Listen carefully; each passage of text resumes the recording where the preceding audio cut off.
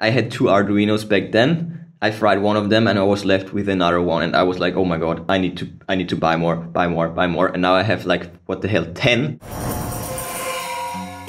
Initiating. Welcome back to my daily grind. Create yourself is what you'll find me doing every day and every night. No time to lose. One day, one step in the right direction. I'm Chris and I'm only here to show you if I can do it, you can do it too.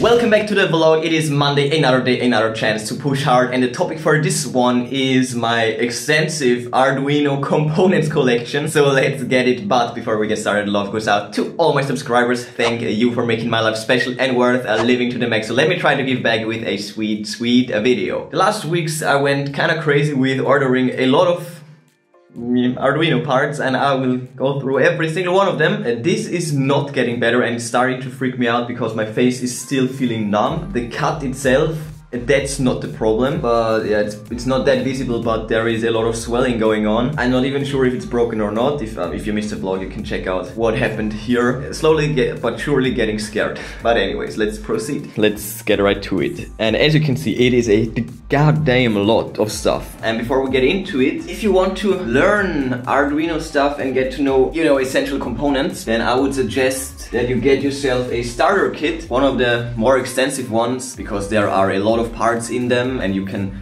then run through all of them. And I won't go through all these parts in here. Just know these were not included. Very helpful for transmission belts. And uh, this is yet another part for movement detection. Very helpful. Oh yeah microphones. I think I ordered a few of those too.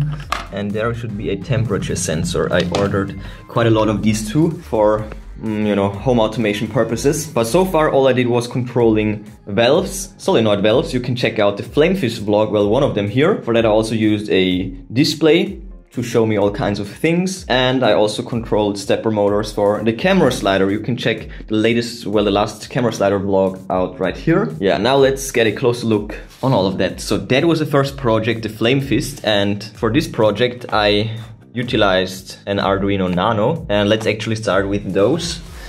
As you can see here, I went completely overboard with buying Arduinos because back then I fried one of them and I was like, oh my god, I had two Arduinos back then. I fried one of them and I was left with another one and I was like, oh my god, I need to I need to buy more, buy more, buy more. And now I have like what the hell, 10. And the tinier equivalent to Arduinos are these Arduino Nanos. I found out about that a bit later. They have this rather big USB and they have mini USB, way smaller, perfect for the Flame Fist. So I exchanged that. So far I don't know what to do with all of these. I guess I will find out one day or another. Then here we have a few shields, the CNC shields. When I started with Arduino basics, I thought you need them to control motors. It is possible, but it's not necessary. What you actually need is a motor driver. So I'm left with quite a few of them and I might use one of these when I get to my CNC but we will see about that. And there we have, I think this is called the ESP something something 8266. And that's yet another thing that I want to get into because this little chip right here, that's a Wi-Fi uh, chip.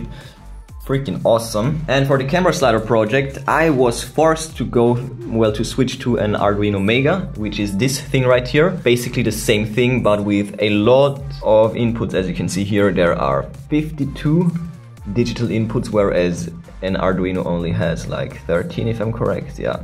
They always say you won't max out an Arduino like that quickly, but it, that's not true. If you want to control multiple steppers and use multiple input devices, maybe with a screen, you will need one of those. So let's take a look at this project. As you can see, I'm currently using two, well, I'm only using one, but I plan on using three stepper motors and as you can see here, as I said, I'm just using the motor driver. They then need a capacitor, just like on the CNC shield.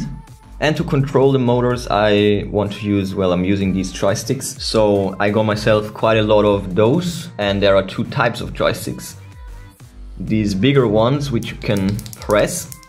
So they have a integrated switch basically. And then there is this tinier option and this is like this PSP or something like that controller freaking amazing and I think I will use this for the Flame Fist because if I'm correct I'm not using the switch at all. I was planning to use a switch to go through another menu section, but I think it would be a better idea to just go smaller with the design. Use this one and just, you know, then you need to cycle through more options, but it's not like that's an important thing. And to display the options, I used an LCD screen. This one came with the starter kit and then I got myself quite a bit more. These have two lines and I think these have four lines, so they are quite huge and I will use these for the camera slider. And the reason why I bought so much stuff is, well, one day I want to, you know, I want to sell my stuff. So I thought, yo, let's just, yeah, let's, let's buy more because one day I might need it. If you're interested in purchasing a flame fist or the camera slider, then check out my Etsy shop.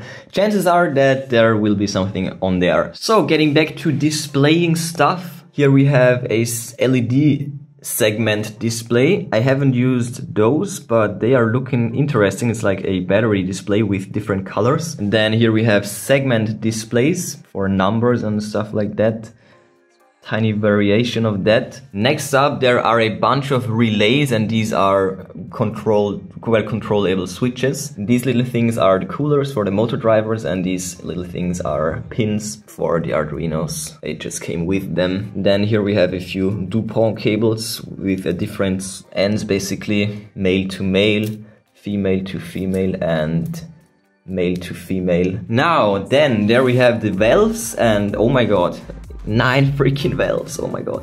And they are fairly big and heavy and I also found these and um, well the plan is to exchange and use these for the flame fist because they are tiny and light. That would be awesome.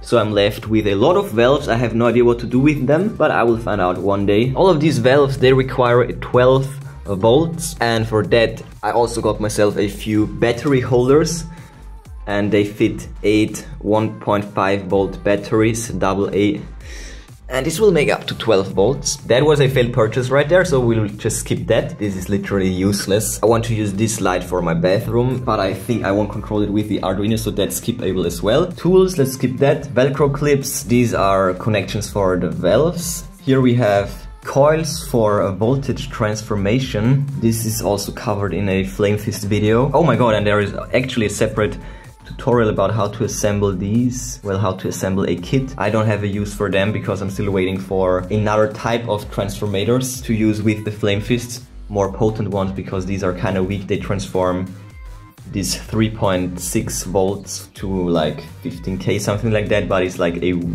pretty weak arc. Oh yeah and I got myself a few batteries 18650 maybe for the flame fist as well we will see. Okay now here we have nuts and screws. This will be exciting because i want to use them for the belly songs but very skipable for this video as well. Oh my god and yeah let's now let's get to the sensors. A really amazing sensor is this mpu 6 6050 I think that's what you call it. It's a accelerometer with a temperature sensor. It's amazing. And I'm using these uh, with the flame fist as well. So I got myself quite a few of them well, only four actually. Oh my god, I need more. Here we have yet another interesting sensor. This is a, well, a door sensor. I haven't figured out how to use them yet, but there are basically two contacts and when they separate, they will do something, induce a current or something like that to tell you if a door has been opened or closed. And yet another very important sensor is just a switch. You call these limit switches and if something approaches, I will use this for the slider. If the sled reaches the end, it will activate this switch and basically shut it off. Very important sensor. And there are a lot more in these starter kits. If you want to take a quick look, there are loads of them. The infrared receiver modules are very interesting. Oh yeah, and the RFID module. I'm currently working on a door lock. I want to unlock the door with an RFID ring this gonna be sweet. There are so many possibilities literally it is endless possibilities. And well let's get to the last part. There's a thing right there. I want to automate my door lock this deadbolt right here. And for that i want to use well i'm probably going to use a stepper motor. And that's what these things are. These are the tiny NEMA 17 stepper motors. And i'm also using them for the slider. And as i said they need this motor driver. And these so i have quite a few of them left everything should work out fine. And these tiny ones, they are also used for 3D printing purposes, applications. For example, well, as you can see, all my printers are using the exact same motors. Well, this one is actually fairly small, if you're able to see this. The Ultimakers, right here, they have bigger ones.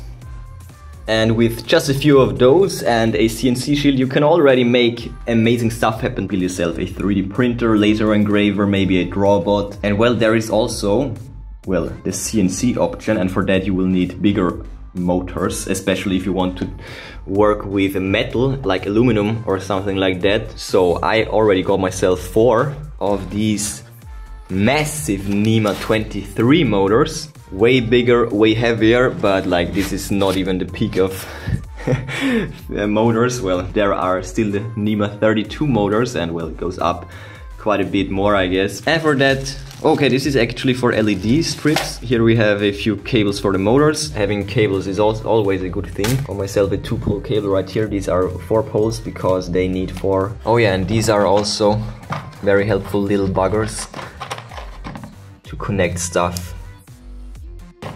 Very helpful. Oh yeah, and yet another very, very important thing are transistors. Get yourself the real ones, like the big ones, the fat ones. These are transistors as well, but they will just fry. I made this experience with the Flame Fist.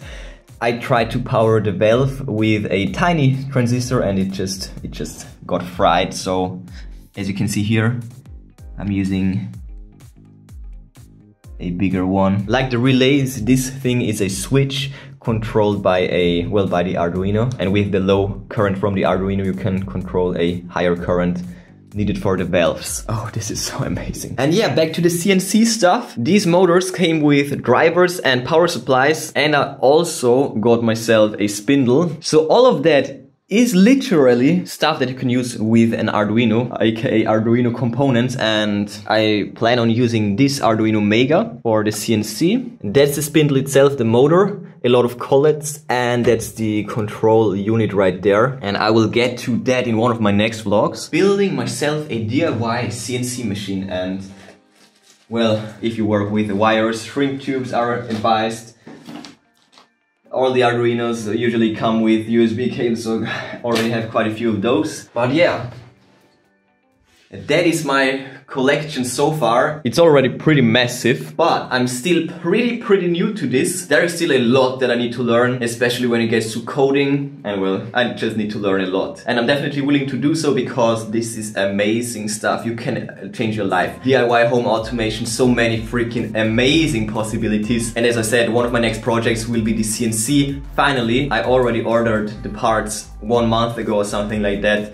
I got kind of scammed and I will get to that as well. I hope you enjoyed my little review of all the components that I bought so far. I have no clue how much I spent. The valves are around 10 bucks per piece, so this is like, it's, it's hard to say. This motor set was like 300, the spindle was like 250. So all in all, I think around 1000 euros and plus the CNC part, so yet another 1000 euros, but all in all like two grand.